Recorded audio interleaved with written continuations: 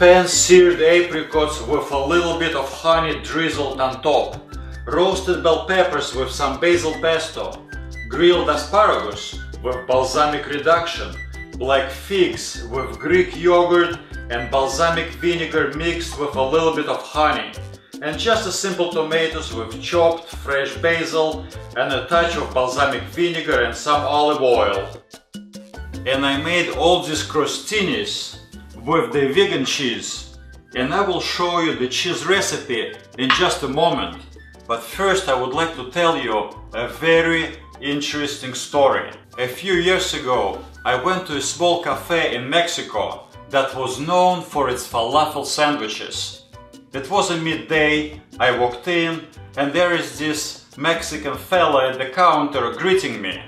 I said hi, I've read about your place in a travel guide.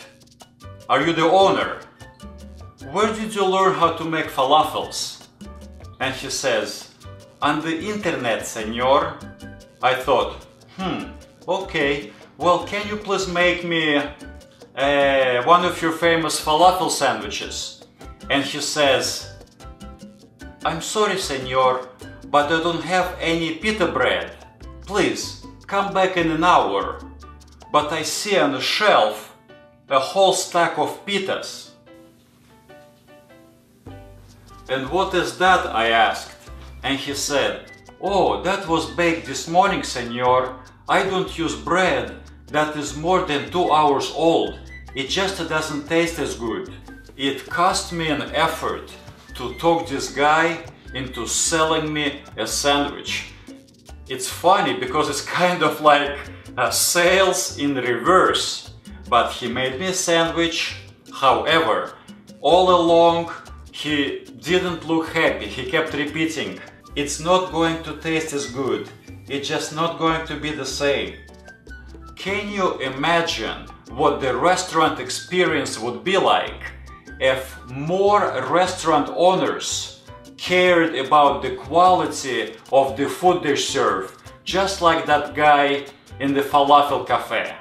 Well, in the next video I'm going to tell you another, even more interesting story about how much people care about their product. And that will be a story about a French bakery.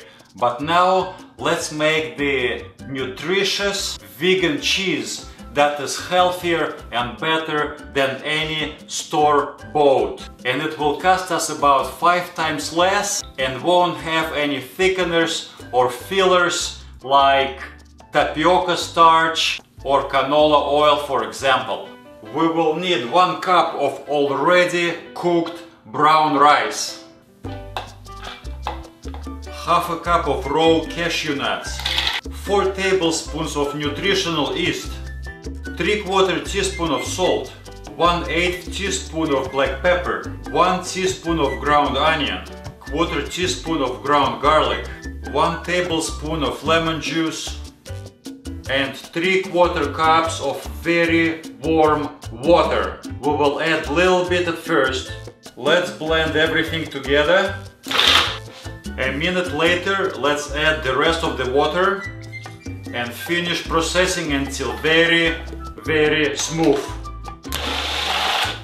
and it's ready. How about we will make a falafel sandwich with our vegan cheese and some basil pesto. Cut the pita. Add some cheese. Squish some falafels. Put falafels in the pita. Add some vegetables. And then some basil pesto. Doesn't look like Middle Eastern? I agree. But the basil pesto still makes it very Mediterranean. And I will see you soon. Thank you for watching.